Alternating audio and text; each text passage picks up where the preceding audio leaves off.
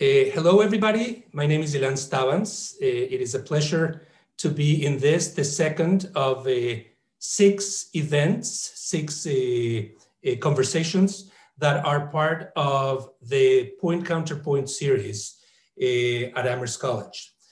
before I introduce our distinguished guests today, I want to say something about the series, about what's coming up, and giving you a sense of the, the lay of the land of where, how this started.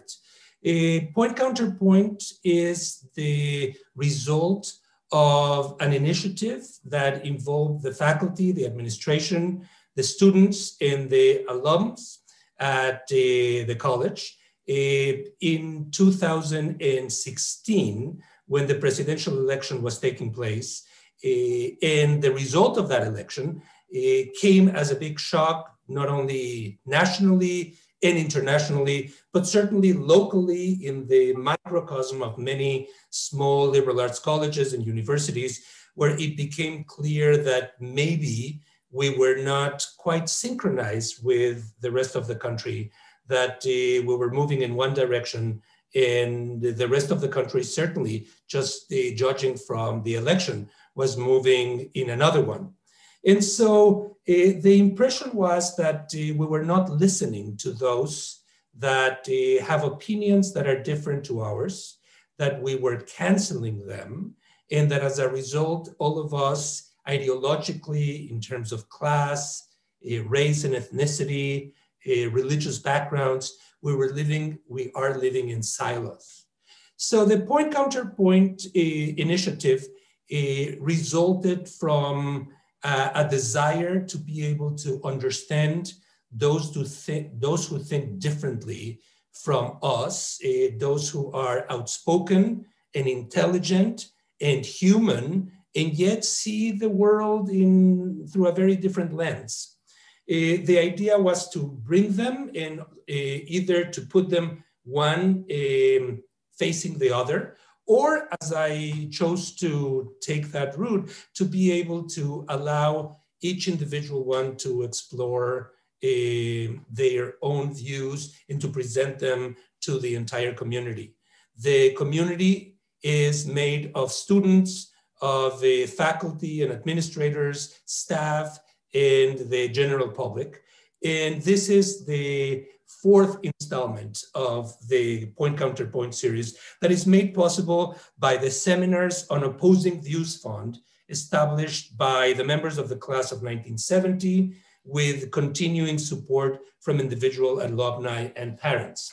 This year's theme is politics in poetry. What role does the poet play uh, in culture, in society in general?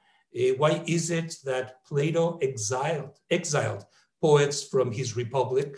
Are poets uh, messianic voices or are poets uh, prophets, as in the biblical sense, who are able to articulate thought that uh, others are unable to, and that society often doesn't want to hear, doesn't want to engage in. Uh, this, this series is in tandem with a course that I am teaching, also called Poet, Politics in poetry, where the work of all the participants in the series is studied carefully, carefully, meticulously, thorough, thoroughly by students, and um, and then the guest comes. Uh, last week we had uh, David Brooks, and coming up we have uh, Joy Harjo, the U.S. Poet Laureate.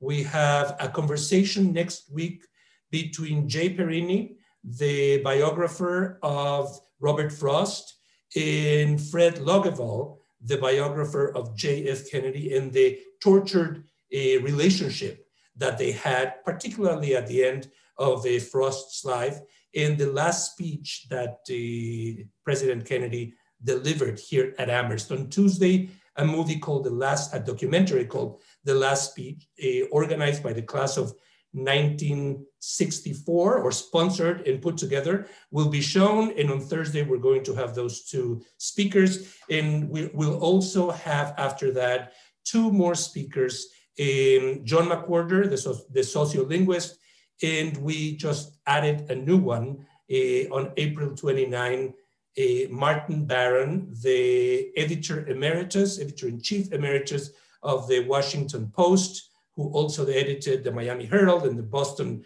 Globe, and who is one of the characters in the movie uh, Spotlight uh, about uh, a very important job that uh, Marty Baron and the, and the reporters of the Boston Globe did in exploring and bringing to light the sexual accusations, the sexual abuse of the Catholic Church in, in Boston first and then in, at large. So it is my pleasure and my honor today to have Jericho Brown, Pulitzer Prize winner, the author of three very important books and a decisive, very influential voice in American poetry.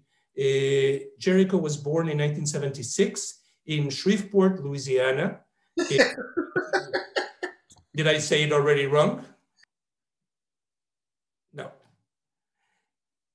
Uh, I, I'm sorry, no. I just never heard anybody say the year I was born in an introduction. So so much. It goes for everybody. um, he went to Dillard University, a historically black college, um, and he currently teaches at Emory in Atlanta. Uh, he is the author of the book Please, 2008, the book The New Testament, 2014, and the Pulitzer Prize winning book The Tradition, uh, 2019. Uh, Jericho, I'm, I'm delighted to have you here, and uh, I hope it wasn't. Uh, I mean, giving the dates is simply a way of contextualizing. No, it's fine. It's fine. I just didn't expect it. Okay, I, I appreciate it. It's nice to be put in context.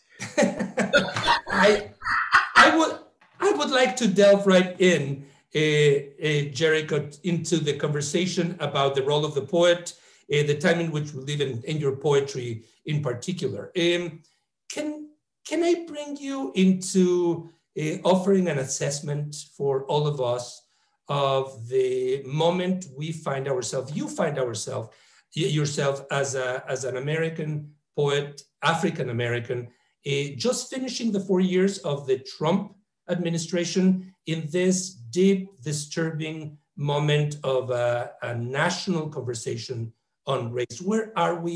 What advances have we made? How have we gone back? Eh, how do you see things? Uh, this is a great question, and thank you so much for asking me. And also, just thank you for having me here. Uh, I'm interested in um, a world where we look to poets to see what they think, so, uh, which might be an interesting, an interesting world. Um, right now, I think poets would really just be glad if people read read our poems, but it's nice to say what we think as well. Um, and just in terms of, of where we are, I don't, um,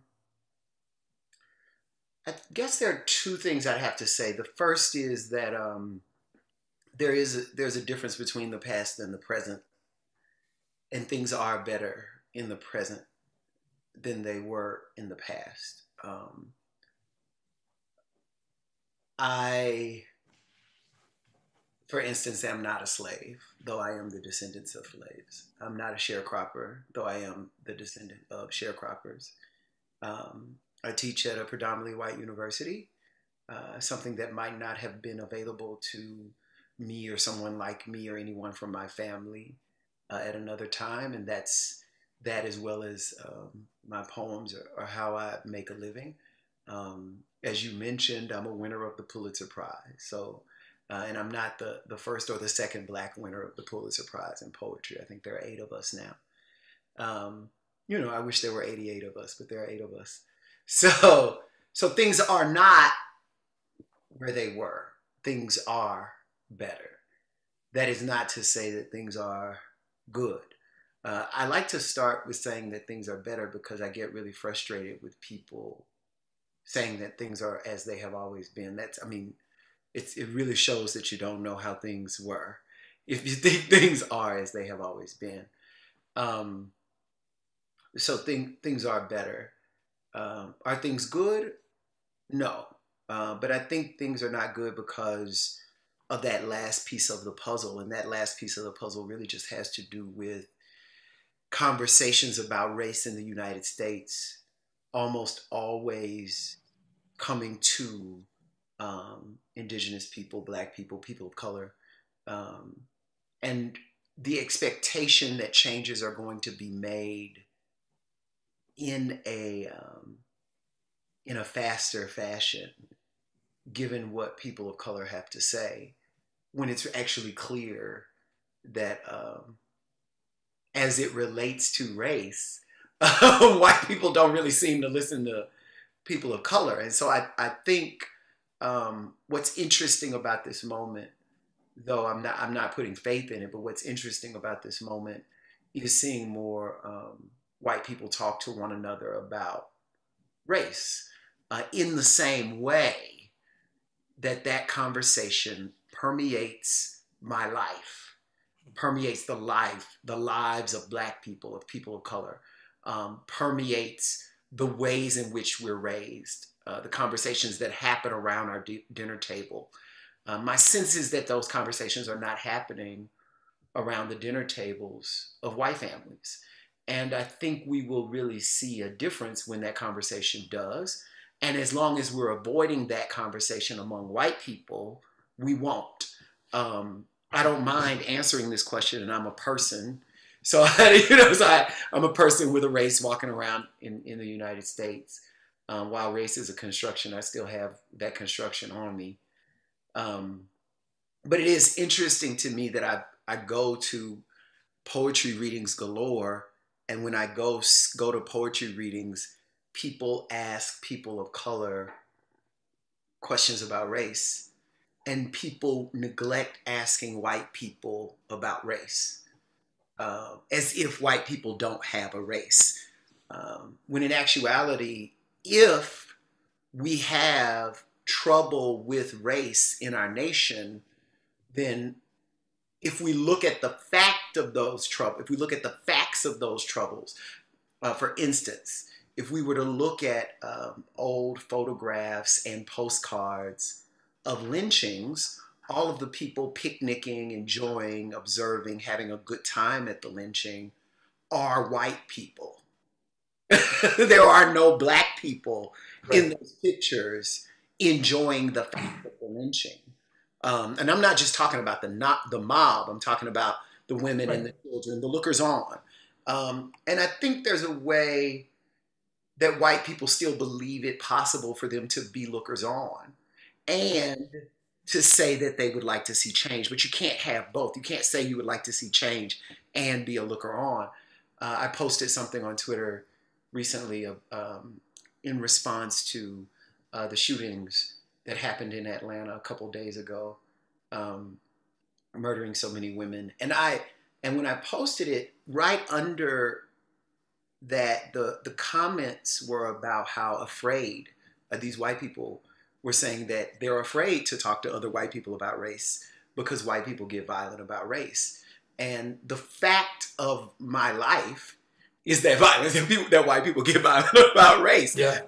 I, I mean, so if you want to know what people of color are going through, they're walking around with that thing that you're afraid to do, and they can't run away in fear of doing that. How how can that conversation of those that are a not not people of color take place in the dinner at the dinner table or in other places. How can we get into that a state of mind where being white is accepted as a race instead of the absence of a race that you were speaking of? What what changes need to be how how can that transformation take place and or uh, Jericho is the conversation that we are having in institutions, uh, in, in on the street, in the restaurants right now, advancing us even very slowly in that direction. You said you said that you that things are better. And might it be that the better is that we're a step closer to that? Maybe I can also ask you, you know, just in the 60s, we were in the middle of a, a, a, another transformative a period in American history where people had hope that there would be a dramatic change. And this is uh, 50 years later, and uh, the advance has been very slow. How can that change take place? How can we reach that point? Yeah, I don't, I mean, there are many answers to that question. Um, you know, there's this sort of easy individual answer where one of the things you can do is look at your bookshelf and see who who's on it that's not white. I mean, that's one thing that you could actually do, and then you can be convicted at the fact that everybody on it is white. Like that's one. Mm-hmm. I mean, you know, just on an individual level. Um, another thing you can do is imagine um, white movements that have been organized and what those dinner conversations must have been like. What's what is it like to sit at a dinner table? Um, with people who are invested in the Proud Boys or invested in the Klan. Um, they don't mind talking about race when they're at the dinner table. Maybe if we were to um, begin to imagine those conversations, we can imagine what the opposite would look like. But, and I sort of said it in this last answer, you know, the work that has been done on the behalf of, um, of um, doing something about uh, uh, racial inequity that work has been done because of organizers and organization. Uh, that work has been done because of um, sociologists and ethnographers. That work has been done because of lawyers. Uh, that work has been done uh, because people got together and opened Dillard University, where I went to school. Do you know what I mean? So that kind of thing can only happen via organization. And right now, I mean, I'm sure there are exceptions, but the major organizations that have something to do with solving the problems inherent in race, um, those organizations are always based in people who are not white.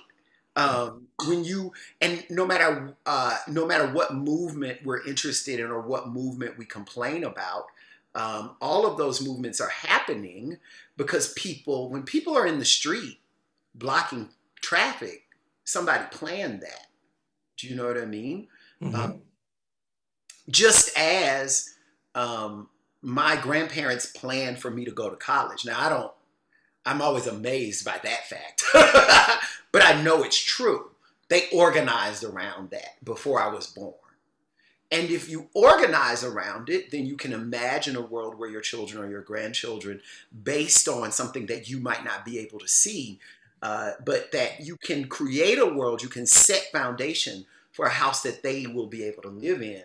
Um, but you have to have an idea of working for it. And it's very difficult, I think, for white people to work around race because they don't understand that they would need to. Uh, white people know sort of I mean, one of the reasons why we see all these really weird things happen that gets that get caught on camera phones is white people have some some sense of this going on in their heads. Like, wait a minute, you know, wait, something's wrong, right? And so, and then, but they they remain surprised because they're not involved in this in a daily or a weekly or a monthly fashion. Uh, and if they were involved in it, then they wouldn't be surprised by other things. You know, a lot of a lot of white people uh, were surprised when Donald Trump was elected. You mentioned this earlier. Um, I don't know a lot of black people who were surprised by that. Do you know what I mean? But if white people knew black people, maybe they wouldn't have been surprised. you know, you, or, or if white people listened to black people, black women in particular, um, organizing black women who work elections, maybe they wouldn't have been surprised. Were you surprised uh, not by the the triumph of uh, of uh, of Trump, but by how the country changed in those four years, by the the extremes of those changes, or that didn't surprise you either? It seems, at least uh, from a white perspective, and I come from a Mexican Jewish background, being white, that uh, in the four years of the Trump uh, administration there, there emerged voices that had been in the margins that probably people of, of color had seen before, but for many, they were right there in front of the television, right there in the in in in people's eyes much more. Were you surprised by what happened in those four years? No, I wasn't. Um, as a matter of fact, I wasn't even surprised by the insurrection. I was heartbroken by the ins- insurrection. Uh, one of, uh, but but no, I wasn't I don't think I saw anything surprising Mm-hmm. Um, I think I really did give up on surprise back when. Um, I'll say two things. One is I gave up on surprise back when Barack Obama was president, and somebody thought to go and shoot a bunch of little kids, little white kids, you know. And when I realized no one was going to do anything about gun control in the in this country, was the moment that I realized, oh, white kids are going in, white people are going into schools and, and killing white kids, and nothing's going to really be done to stop that from happening, mm-hmm. which means no more surprise for me you know, like like like white people are allowing this to happen to themselves. So, because I really thought white people wouldn't allow bad things to happen to themselves, but I guess so much for that. Uh, so that's the first thing, and the second thing is, you know, if a lot, and this sort of goes to your first question as well. I think a lot would be solved if we had an idea. You know, it is not.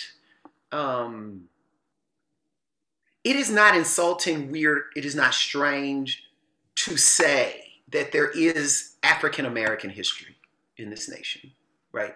It is not strange to say um, that there is um, Latinx American history, like do you or Mexican American history? Do you understand or or Irish American or or Catholic history in the United States? Do you understand what I mean?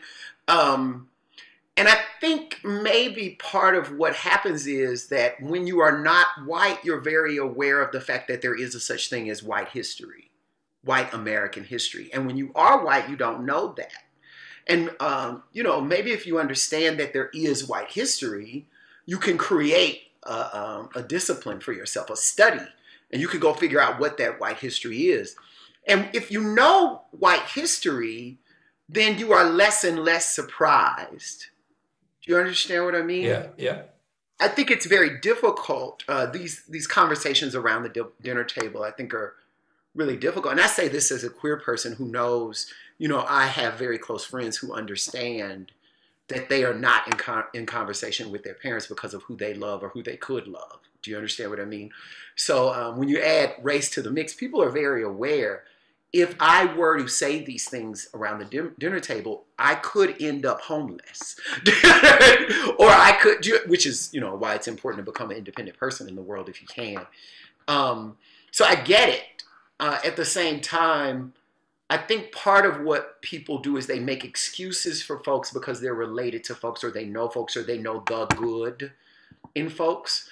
Um, but knowing the good in people doesn't stop those people for creating policies that end up murdering other folk. Do you think, Jericho, that uh, that the concept of America as a nation, you write it in a poem that you published inaugural uh, in, in, in, on January uh, January 20th. Uh, do you think that the concept of America as a nation, with this very push and pull movements that are taking place, with the fact that people from different ideological uh, persuasions are moving out of neighborhoods in order to live only with themselves, or racially we're reverting some of the patterns that we had of integration. Do you think the concept of being all together, have a common good, have a sense that the nation, the dream of the nation can still be there? Do you, as a poet, as a poet would play that plays with words and that uses words to go incisively into the, the moment in which we live, it's still current, or is it falling apart before our eyes? That that uh, that this is not that that that we're being fractured much more dramatically than we want to confess, that we want to recognize. Well, I I don't. I mean, I think the answer to that question is pretty evident. I mean, I don't. I'll just say that we experienced a coup. like I don't know if everybody at, at the moment that people were counting votes, someone let a bunch of folk in who also had bombs around the Capitol. And those people went in those buildings to beat up or murder the people who were counting votes. So I'm not, I don't, I mean, and they were, they were encouraged to do, those people were encouraged, the insurrectionists were encouraged to do that. So that possibility is, I mean, that possible because that happened or almost happened. I think that tells us exactly where we really are. Um, Yeah, I mean that's all. Th- these are these are uh, four lines of that beautiful poem that you wrote, uh, inaugural, uh, an original poem. We imagine an impossible America and call one another a fool for doing so. Mm-hmm. I don't want to be hopeful if it means I've got to be naive. Mm-hmm. Uh, where then shall we put our pain when we want rest? Uh, and if no one's punishment leads to my salvation, then accountability is what waits. That particular last line. Um, maybe I got from your answer, uh, Jericho, that we are naive, uh, that we're that we're persistent on seeing this.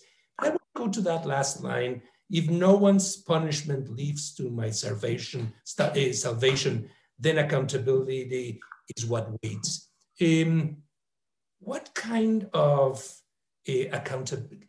Tell me more about that line. Explain it to me. It's a line that students were puzzled by. Um, the words punishment and the word accountability. Uh, having read a lot of your poetry before, I'd love to hear your reflections on it, particularly as it fits into January 20th, the beginning of for better or worse, a different era, if not a better era.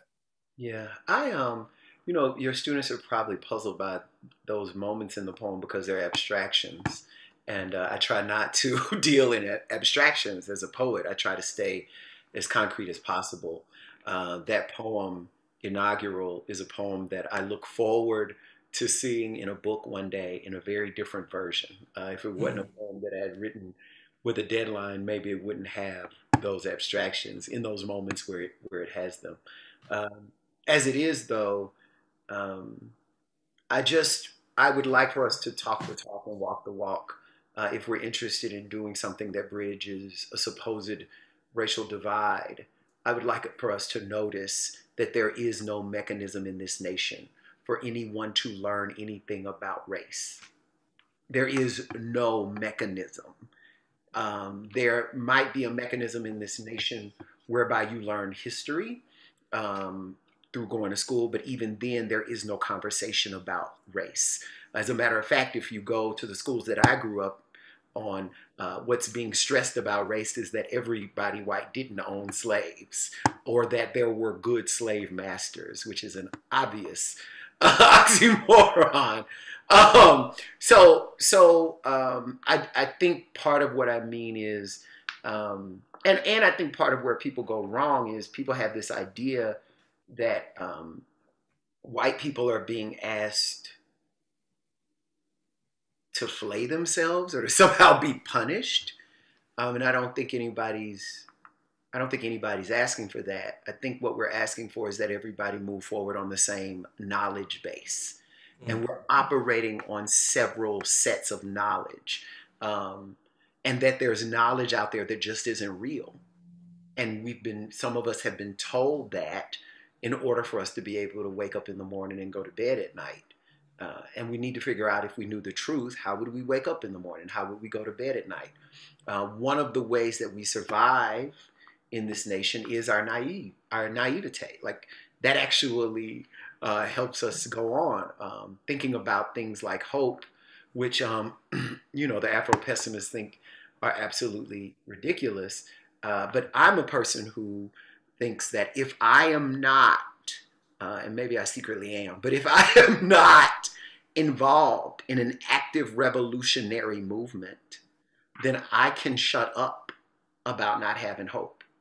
Do you understand what I mean? Um, I mean, we have our options. Um, you can have hope, understanding that you need to temper that hope such that you are not naive, mm. or you can understand this is crazy. Um, capitalism is a mess. Whiteness is a mess. You, and you can get yourself involved in certain kinds of revolutionary action that might land you in prison. Um, and those are really, I mean, if, I mean, to be honest with you, those are really our options. Um, and while I am a person who is very clearly interested in revolutionary acts, I am not willing uh, to do the kinds of things that would outright uh, overthrow the government by myself in this moment. Do you know what I mean? I don't want to go to prison right now. You understand? Absolutely. It's the fact that I know the system doesn't work. It doesn't. I mean, it's not working, Ilan. Connect connect revolution with poetry or poetry with revolution, uh, Jericho. And I want to I want to stop at something that you said because for some of the members of the audience, there will be a resonance that you, because you were not here last time, um, might not know, and that is that uh, I was talking with the David Brooks, and he was mentioning how he puts together some of the columns that he writes. He writes methodically, systematically, uh, once a week, submitting a piece to the Times and another piece to the Atlantic, uh, uh the magazine, and how he puts it all together. And in the end, in, based on what I know about how you put together your poems, they are not that different. Um, and I'll, I'll, go there in a second, but, but he works on deadline. And you just said, Jericho, that you that the fact that you had a deadline for this, that poets poets don't have deadlines. Talk to me about deadlines. Well, sometimes we have deadlines if you know if our editor says there's a chance you might be arrive inaugural poem, so we need you to write an inaugural poem. And if you do it, we might be able to get it in the New York Times. Do you know I mean? I mean, that causes a, a. I had another New York Times uh, deadline uh, in the summer. I wrote a poem called the summer of 2020. I wrote a poem called "Say Thank You, Say I'm Sorry." Uh, which I was assigned to do, and that had a deadline. So poems do happen on deadline. I do not expect the poems that happen on deadline to be the poet's greatest work. Uh, I think in, in, one case with that poem, say thank you, say I'm sorry, I'm much more pleased. And in the other case, I wish I had had more time, uh, and I would I would work on it more. Uh, when I'm writing my poems, I am, and one of the reasons I think of writing as a re- revolutionary act is that when I'm writing my poems, I am quite literally following where language takes me and allowing language to take me into meaning, as opposed to coming to the poem with the things I want to say. I do not sit down thinking I want to write a poem about X. I do not, I definitely don't sit down thinking I want to write a poem about the time I blank. That's not how it gets done. It gets done through a process of really following sounds, um, listening to language for its music, and I'm sort of making a score of music based on those sounds, a, a composition. And then when I look at that, I try to I revise that mess because originally it's just a mess of music, right? I revise that mess toward meaning, uh, and that way I can work with the language I have to figure out what it is I might want to say. And I'm working then with my unconscious and my subconscious rather than the Jericho. And that's what allows me to say things that I don't expect to say. And that's what allows me to say things in my poems where I'm hard on myself.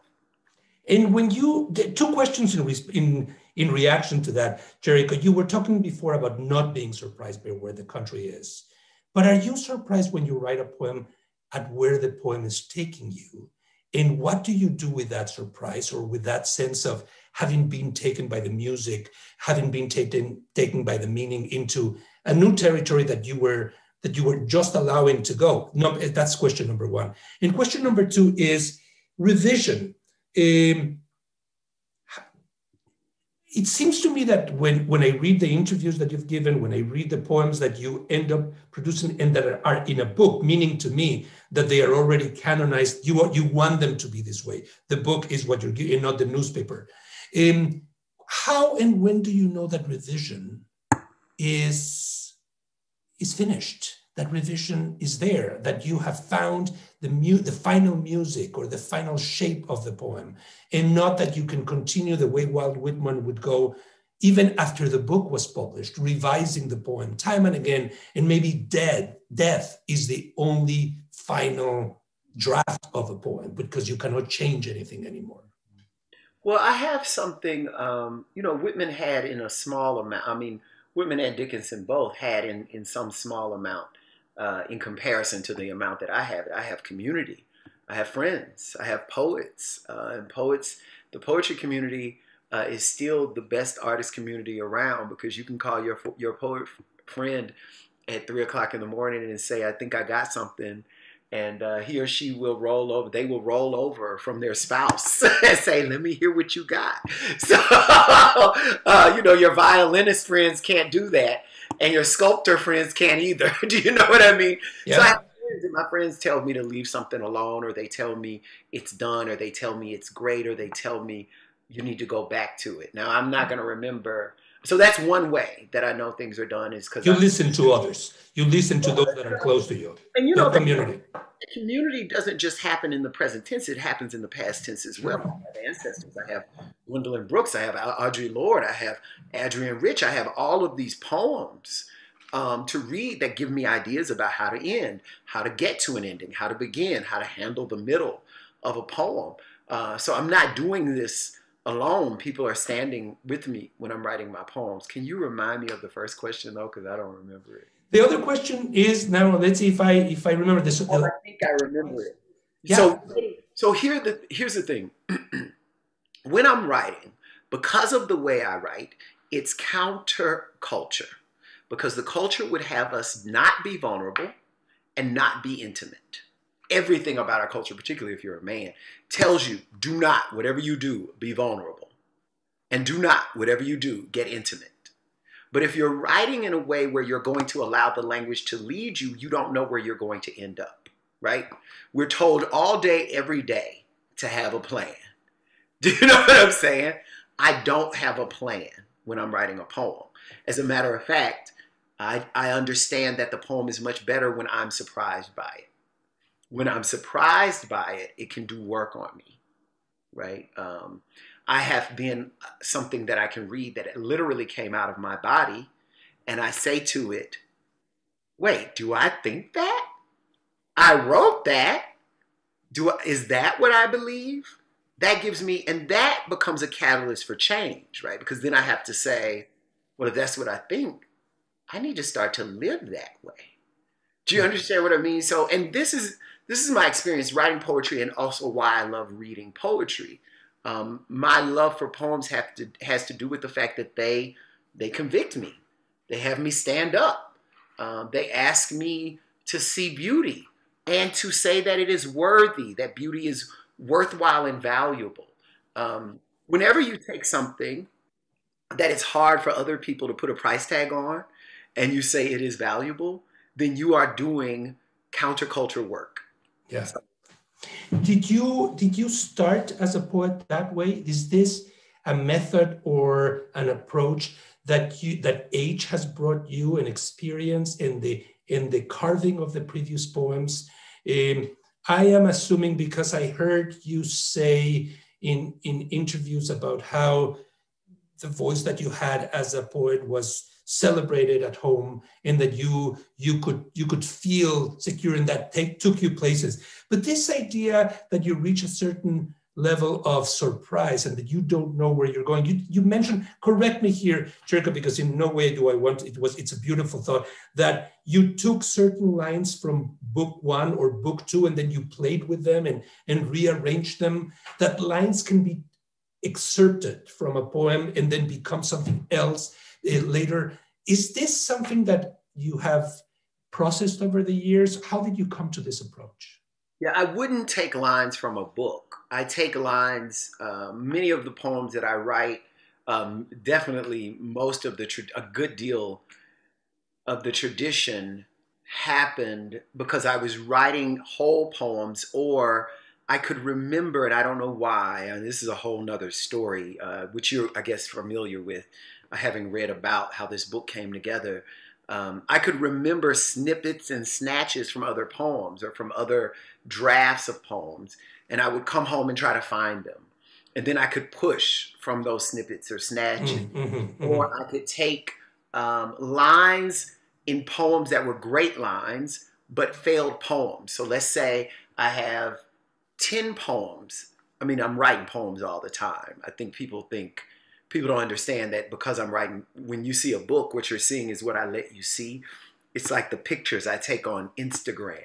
You know, I don't take. Everybody's like, you take good pictures. No, I, I pick the pictures for you to see. you think I take good pictures. Right. Um, so you, what you do, what I do is I, I might take ten poems written between the year 2000 and 2020 that have failed. They're sitting on the computer and I haven't used them. But there's they couldn't be failures because they have to have in each of them there's at least one line. Mm-hmm. So if there's one line in in 10 poems, I take those 10 lines from 10 different places and I begin reorganizing them mm-hmm. on the page and they start to speak to each other, right? And so I find out that this poem in 2001 didn't work because it needed a poem from 2012 and it didn't know that it needed it. And, and that poem didn't work because I had an experience in 2013 that I hadn't had, although I had written lines toward that experience.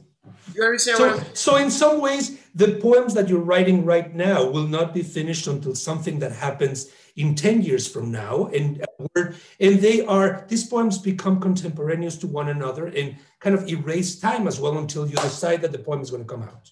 Yes, these poems are, they are the new thought movement. They are, they are now talk to me, Jericho, talk to me about a form. You play with form constantly, poetic form the sonnet, the ghazal. Uh, in, in the tradition, you play with the duplex, repeating sentences uh, in, in the in this in the, the, in the different stanzas. And um, I'd love for you to meditate out loud in front of all of us on the freedom that one has when one doesn't have full freedom because the form is there or because the form is there one has full freedom anything, freedom and form in poetry? Yeah, well, you know, I'm sort of going back and forth with my students about this right now, actually. Uh, they get frustrated because I ask them to do a formal thing. Um, and I have a way of asking. Emory students are, um, they're very smart and they're very ambitious.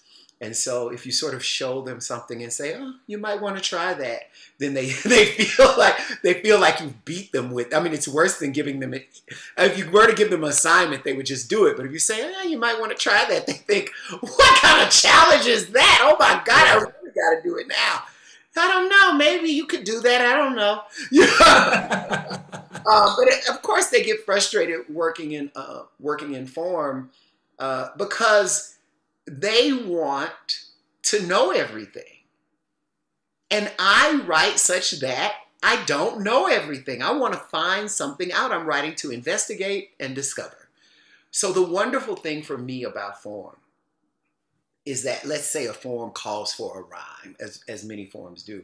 If a form calls for a rhyme, then I know at some point after I say a word like yellow at the end of a line, I'm going to have to rhyme that with a word and I'm coming to it, right? So that's exciting for me because that means I get to use a word I did not expect to use and I get to see what I think about that word. Mm-hmm. I didn't know what I thought about that word. The only word right now that I can think that rhymes with yellow is mellow, which is a word nobody uses anymore.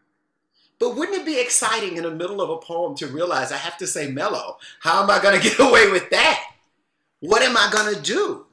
Do you understand what I'm? And for me, that's why. I mean, I love that. That's why I'm a poet. That's the joy. The joy for me is that I'm going to learn something new uh, because I use a word that I don't already use. And because there might be certain words out there that are out of fashion or that are not being seen like mellow, are not being seen a, eh, a eh, culturally in a, in a cool way, in that by taking them, by incorporating them, you'll you'll uh, you'll do something with them that is that is different. Yeah, you, exactly. Yeah. Now, I, I there's um, there's a poem in the tradition, uh, in the book The Tradition, the one that won the Pulitzer, that is called Dark. Uh, and it starts like this uh, I am sick of your sadness, Jericho Brown, your blackness, your books, sick of your lying me down so I forget how sick I am. Uh, talk to me about that poem, sick of, and, and it's it's kind of in the in the second person. Uh, yeah, it's funny. Um, you want me to tell you the page? It's uh, page 67. yeah, 67. I am sick of your sadness, Jericho Brown, your blackness, your book. Sick of you laying me down so I forget how sick I am. I'm sick of your good looks. I think that's hilarious.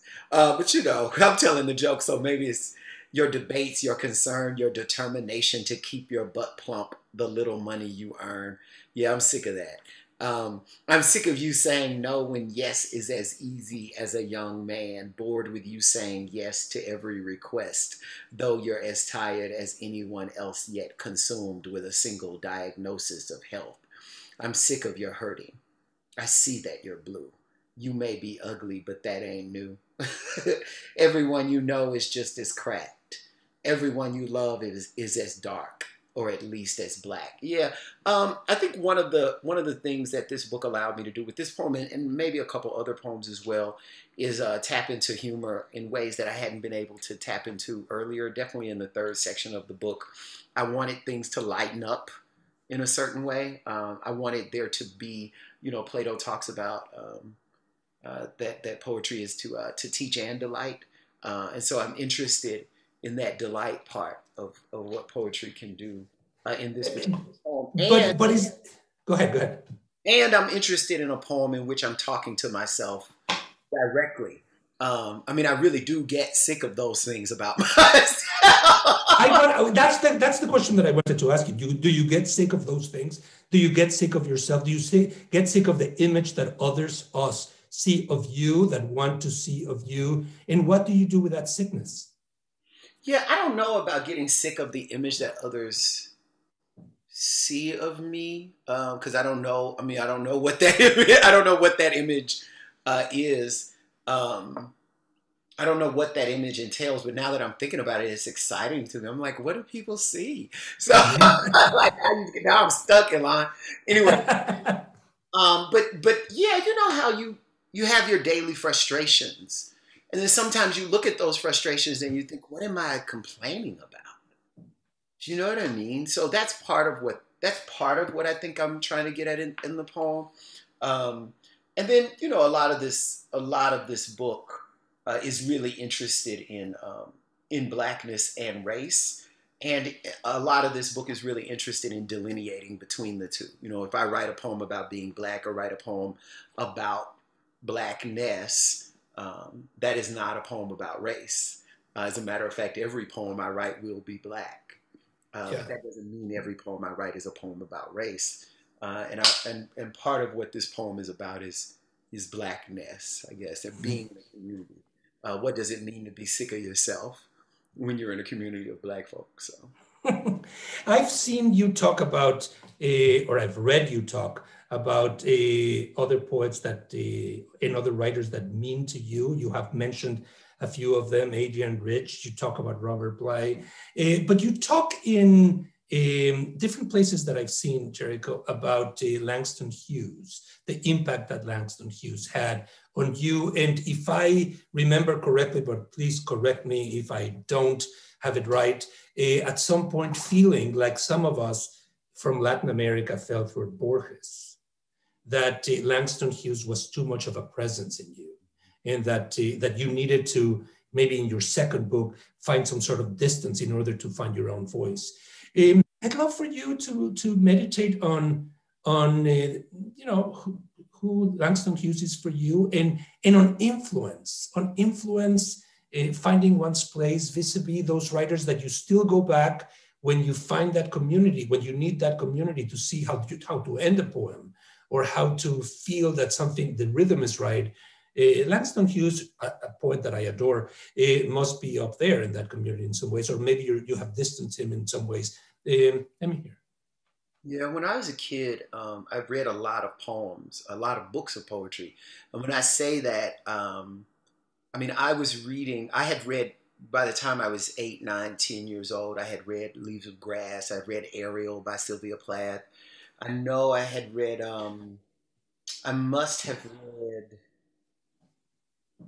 I must have read Life Studies. I know I read a Lowell book, and it must have been Life Studies. Now that I think about it, um, I had read Life Studies. I had read and hadn't liked um, some Frank O'Hara. So I was reading a lot of what then was thought of as contemporary poetry. I read Rita Dove. Uh, but I was also reading because I was reading what the librarians gave me. I was reading um, poems from the 19th century, uh, Whitman, uh, Dickinson, um, and poems from the Harlem Renaissance. Um, I read a, a, good deal of Claude McKay, Countee Cullen, and yes, of course, uh, Langston Hughes. And uh, I just fell in love with him. And part of the reason why I fell in love with him, and part of the reason I still love him, is because I could not figure out what he was doing. And I didn't have, even at the age of 10, I had an idea, and I, I, I still, uh, I'm sort of proud of myself about that. I still think I'm right. Do you know what I mean? Um, you know, I, will never forget the first time I read um, Anne Sexton's "Wanting to Die." There's a poem by Anne Sexton called uh, "Wanting to Die," um, and it, it begins something like, "Since you ask, most days I cannot remember." Right? Which is, I think, a beautiful line. But I sort of see the trick. It's since you ask. And as a reader, I'm drawn in in that moment. Uh, with Hughes, I could never understand why I was crying.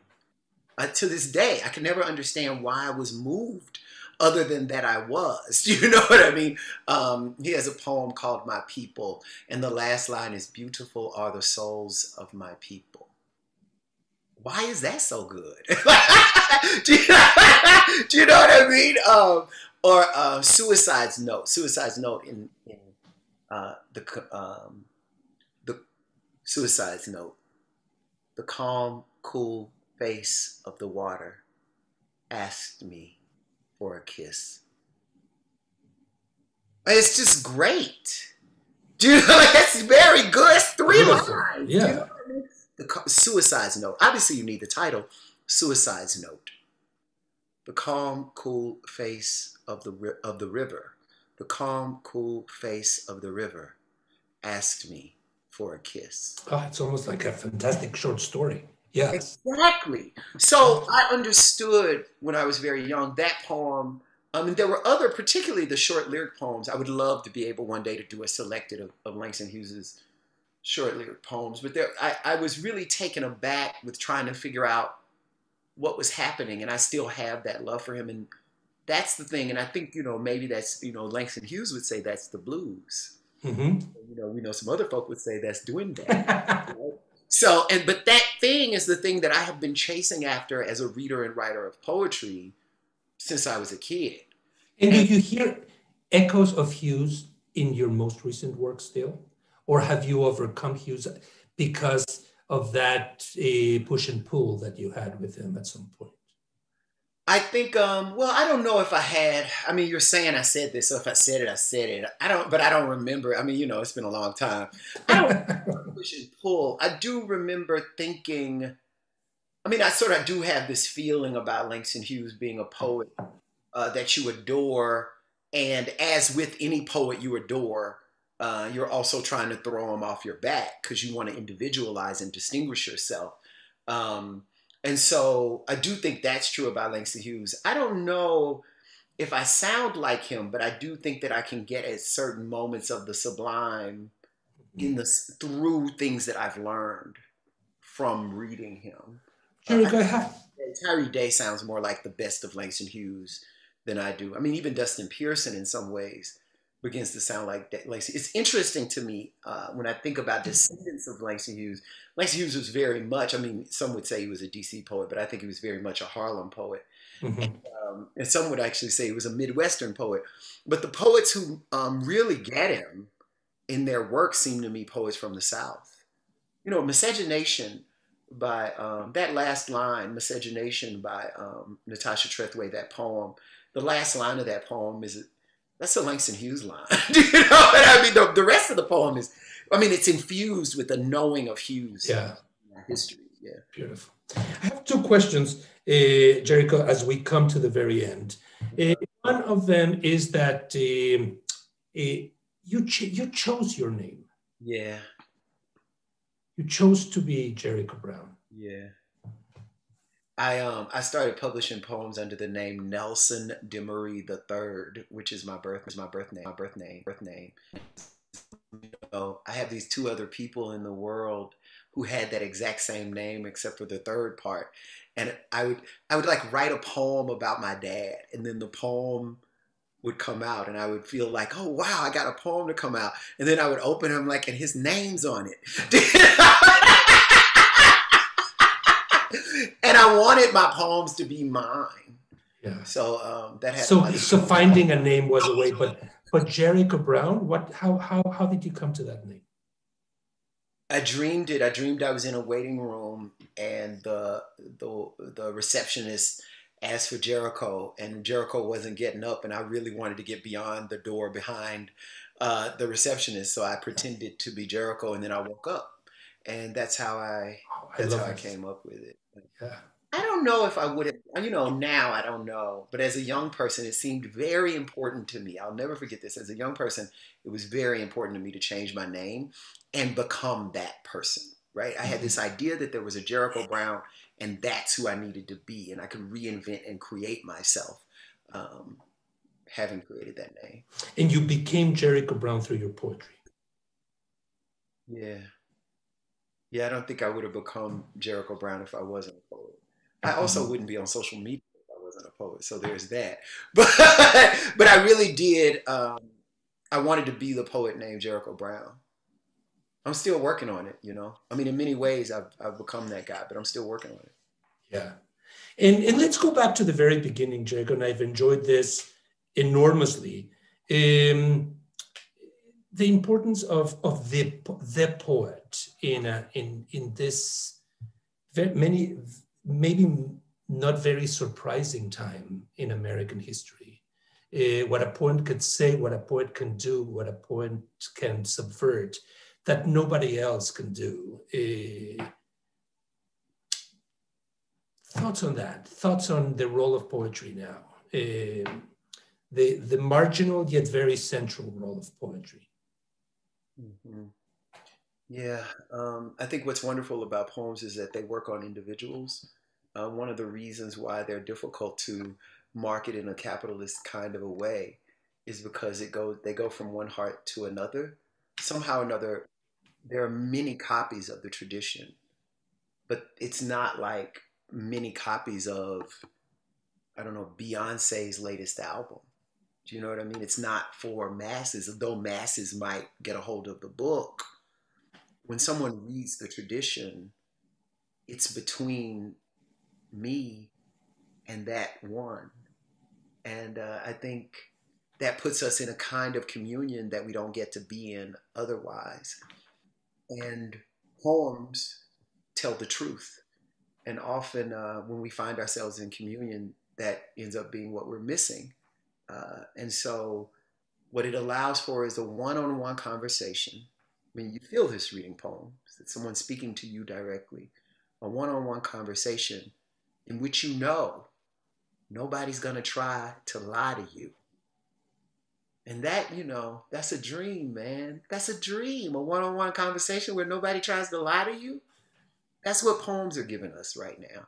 And I'm grateful. Um, I have to say this because I really haven't had a chance to say it publicly, and I know we're running out of time. But I want to say um, I am really grateful to all the poets who have been writing and working so hard and doing Zoom after Zoom um, during the pandemic. Uh, the world, when it is on fire, always leans on us, you know?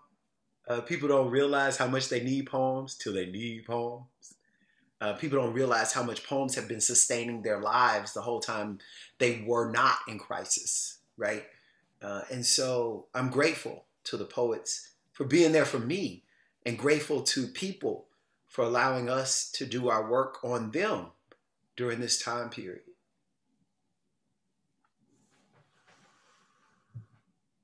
Terrific. Really a pleasure to hear you and to Thank get you. to know you. Um, an honor. Uh, muchas gracias. I should be the one to say I'm honored, man. You're so famous. This is great. It's I was really... calling my friend Michael. He was like, "You're being interviewed by who? Do you know who that is?" this is great. I really appreciate it. Thank I you. I am. I'm humbled. Really, thank you very much, and it was wonderful.